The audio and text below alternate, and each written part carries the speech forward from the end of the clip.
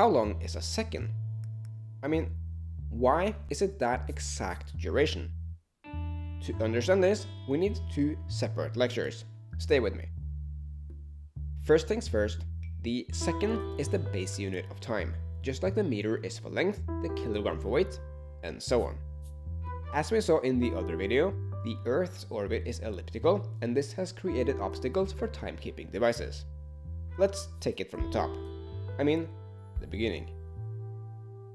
Before clocks were invented, people measured the passage of days using shadow clocks and observing how the stars moved across the night sky. With no artificial light, humans of this period regarded day and night as two opposing realms instead of parts of the same day. Around the 20th century BC, Sumerians had developed the sexagesimal or base 60 number system that the Babylonians used to make astronomical observations. Note that this is happening before the invention of the telescope.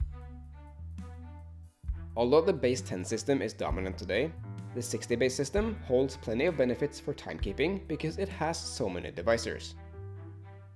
The minute and the second were originally subdivisions of a degree, invented primarily to create a geographical system of the Earth.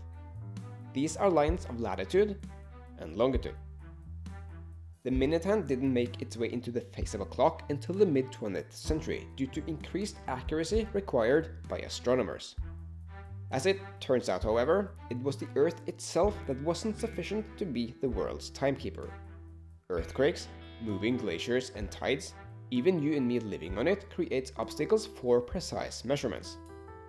These changes are microscopic, but they do read, so for GPS and satellites, they're not accurate enough. Also, the Earth's spin is slowing down. Ephemeris time was the first dynamic timescale in history. These were annual almanacs with predictions of celestial bodies' orbital positions. Today, these estimations serve as backup solutions to GPS data. Time, and the second in particular, was now defined from a single law of gravity. In other words, measured against the year. You might be thinking though, since we're even bringing this up, that a year isn't consistent in length either, because the universe isn't consistent. We discussed sidereal time and solar time in the other video, but those are only the means to measure. Sidereal time is more accurate because it's measured with respect to faraway stars, and stars, from the point of view of the Earth, appear as fixed points. Solar time, on the other hand, has wider appeal on Earth, because of the sun's position in the sky, and thus the seasons and all of human culture. As it turns out though, the orbit is precessing, and this means that no two reference point will ever be the same. Astronomers knew about this problem, but the changes were small, and time wasn't as central in life back then as it is today, and the tropical year of 1900 was agreed upon. The other, perhaps more obvious problem was that if time was now defined from almanacs, however accurate, how do you plan to run a clock against the body in outer space?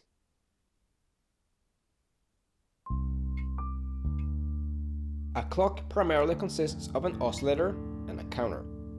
The oscillator needs to perform a repeating action at a constant rate, and the counter keeps track of how many cycles have passed. Mechanical and spring-powered clocks, for example, though better than the sundials and the clepsydras, would need calibration when drifting off. The pendulum clock came in 1656 and was accurate to less than 1 minute in a day. Later that very same year, less than 10 seconds. Exactly what the oscillator might be is in theory irrelevant as long as the rate is consistent, but as we are about to find out, the faster the more accurate. The high note on a violin in regular room temperature plays at 440 Hz. But it would need to stay like that until the end of time.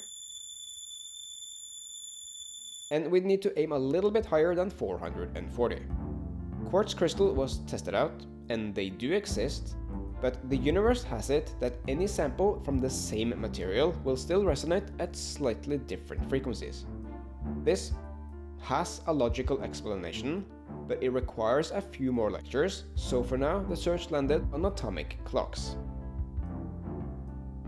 Measuring atomic transitions was already suggested in 1879 by James Clerk Maxwell and William Thomson, aka Lord Kelvin.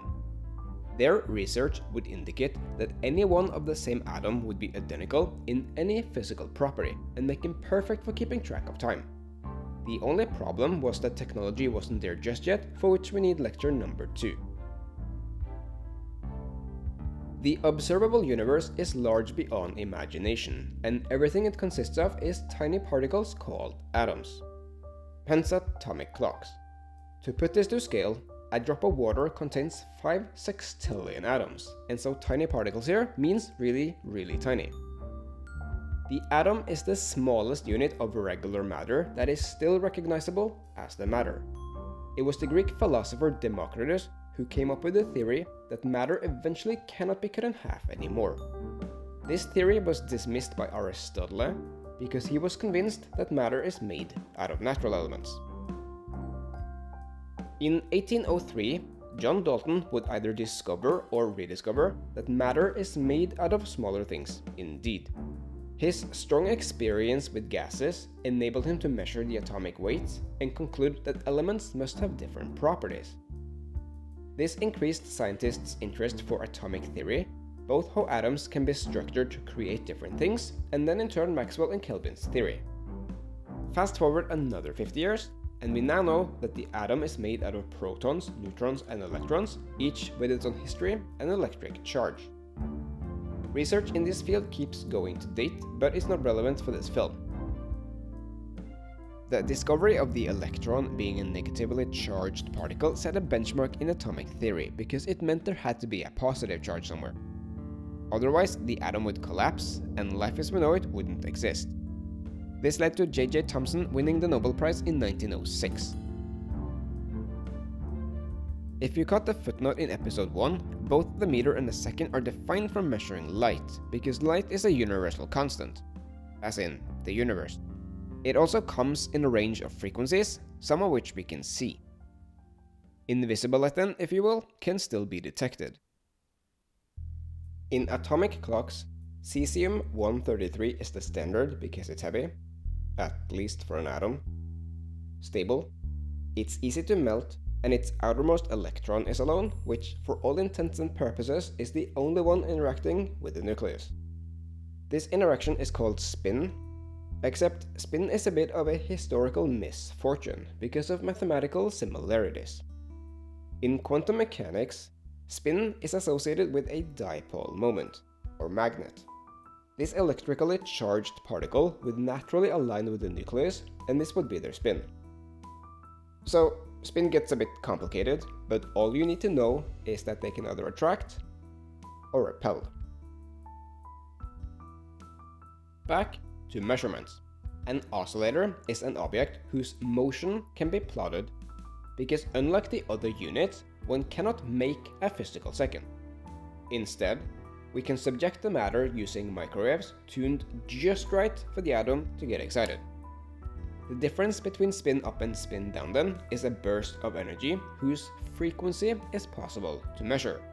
And by the time 9 billion 192,631,770 oscillations have occurred, one second has passed. To this day, that is the definition of a second. In 2013, optical atomic clocks was proven better than the atomic one by around 100,000 times. This improvement have no impact on you and me, but scientists uses them to search for dark energy and dark matter, but that is for sure another story for another time. So, going full circle, I know this has been a lot of information, but if you're still here, you hopefully have a bit more insight in the history of timekeeping. We have got our second, and 60 of those goes into a minute and 60 minute into one hour because of the base 60 number system. A day, on the other hand, is only 24 hours because math and reality don't go hand in hand as well as we want.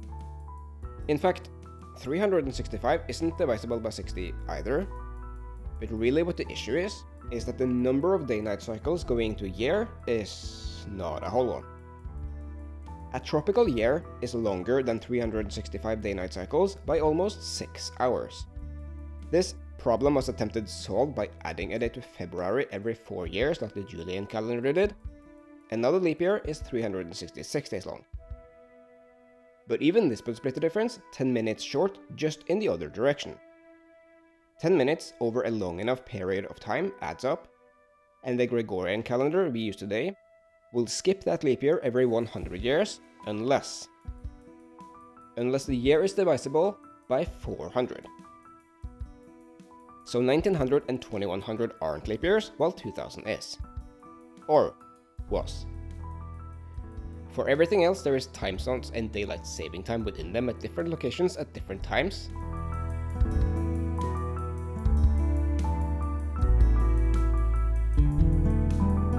But we'll have to save that for next.